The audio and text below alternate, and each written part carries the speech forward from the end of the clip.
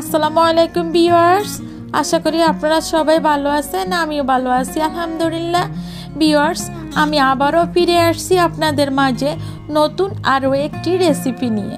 তো আমার আজকের রেসিপি আর আজকের ভিডিও যদি আপনাদের কাছে ভালো লাগে, তাহলে লাইক, কমেন্ট, শেয়ার করবেন, সাবস্ক্রাইব করে আমাকে সাপোর্ট করবেন, তাহলে আরও নতুন নতুন ভিডিও পেয়ে যাবেন। তো ভিউয়ার্স চলুন আমি আজকের রেসিপি আপনাদের সাথে শেয়ার করব। তো আমার আজকের রেসিপি হলো আমি আমার বারিন্দার থেকে পুঁই শাক নিয়ে ছোট মাছের মরিচ খোলা কীভাবে বানিয়েছি সেটাই কিন্তু শেয়ার করব। তো এখানে আমার বারিন্দার থেকে আমি চার থেকে পাঁচটা পুঁই শাক নিয়েছি। নতুন পুঁই শাক, বড় সাইজের একটু। তো এ পাতাগুলা ধোয়ার সময় আলতোভাবে ধুয়ে নিতে হবে, তা না নসেদ কিন্তু এগুলা ভেঙে যাবে।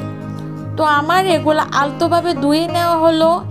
এবার আমি ছোটো মাছগুলো আগেই আমি কেটে, কুটে, ধুয়ে পরিষ্কার করে নিয়েছি। আর এখানে আমি নিয়েছি সরিষার তেল, দুই টেবিল চামচ আর এক টুকরো লেবু লেবু আর চার পাঁচটা কাঁচামরিচ।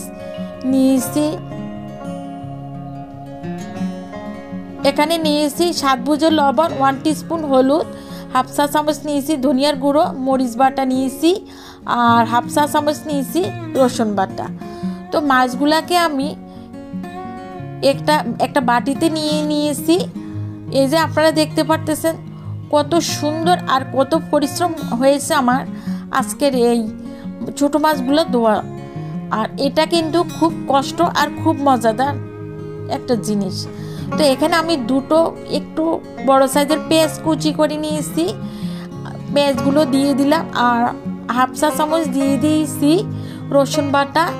এখানে যে লবণ সাত বুঝে লবণ, হাফ চা চামচ ধনি, ধনিয়া গুঁড়ো আর ওয়ান টিস্পুন দিয়ে দিছি ধনিয়া গুঁড়া। এবার আমি সবগুলো এক এক করে দিয়ে দিব। এখানে আমি দিয়ে দিব বাটা মরিচ। এটা কিন্তু, এ মরিচটা কিন্তু এ মরিচ খোলাটা কিন্তু যদি বাটা মরিচ দিয়ে করা হয়, তাহলে কিন্তু বেশি বেশি সুস্বাদু হয়। আর সরিষার তেল দিয়ে মরিচ খোলা দেওয়াটা। তো এখানে আমি মরিচ খোলার জন্য দিয়ে দিলাম দুই টেবিল চামচ সরিষার তেল আর দিয়ে দিলাম জিরা গুঁড়ায় একটু দিয়ে দিলাম হাফ চা চামচ কাঁচামরিচ দিয়ে দিলাম দুটো। দিয়ে আমি এগুলাকে আলতোভাবে হাতে একটু মেখে নিব। মেখে নেওয়ার সময় যে কি সুন্দর মশলা সুন্দর একটা ফ্লেভার বের হয়েছে। খুবই খুবই ভালো লাগছে আমার কাছে ফ্লেভারটা আর একটুকু যে নিয়ে নিয়েছি লেবু, সেটা রস দিয়ে দিয়েছি। যেহেতু বেশি জাল না হয় আর স্বাদটাও একটু ব্যালেন্স হবে এই জন্য একটু কোনো সু, সুগন্ধ থাকলেও এটা কেটে যাবে। সব কিছু মিলে আমি একটু লেবুর রস দিয়ে নিয়েছি। তো এভাবে দেখতে পারতেছেন আমার আজকের এই পুঁইশাক পাতাগুলো কিন্তু বড়।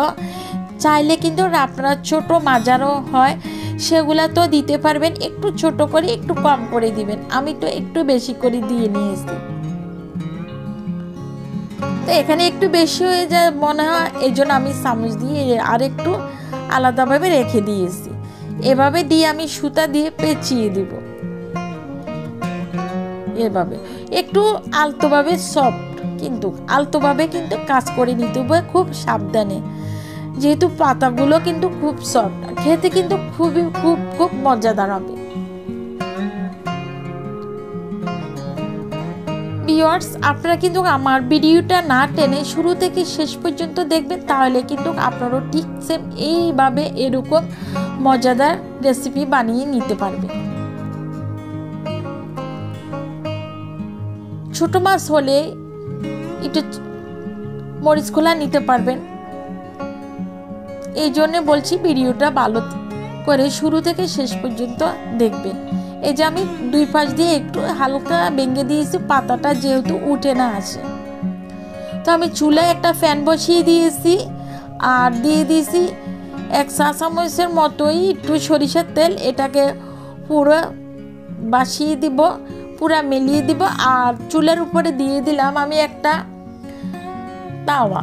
তাওয়ার উপরে দিয়ে আমি কড়াই, ফ্যান বসিয়ে দিয়েছি আর উপরে একটা বড় পাতা দিয়েছি। চাইলে আপনারা বড়ক দিতে পারবেন, বড় লাউ পাতা দিতে পারবেন, বড় পুঁই শাক দিতে পারবেন বা ছোট হলে অনেকগুলো পাতা দিয়ে দিতে পারবেন। তো আমি দশ মিনিটের জন্য দিয়ে দিছি আর এখানে দশ মিনিট পরে ফিরে আসছি। দেখতে পারতেছেন, এক ফিট হয়েছে। আর অন্য ফিট আমি এগুলাকে একটা প্লেটে ঢেলে নিয়ে কড়াইটাকে আমি একটু পরিষ্কার করে নিয়ে একটু তেল দিয়ে তারপরে আলাদা আলাদা করে এভাবে করে নিয়েছি। আর যে পাতাটা, এটা কিন্তু মাছগুলো কিন্তু উঠার সময় যে একটু জোরে জোরে পড়ছে, সেগুলাকে আমি গুছিয়ে একটা করে নিয়েছি। এই দিয়ে দেখতে পারতেছেন মশালা খুবই সুন্দর হয়েছে আর খুব খুব রান্নার সময় আমার খুব ফ্লেভার আসছে। ফ্লেভার যদি ভালো আসে, খাওয়াটা, রান্নাটাও কিন্তু খুব মজাদার হয়।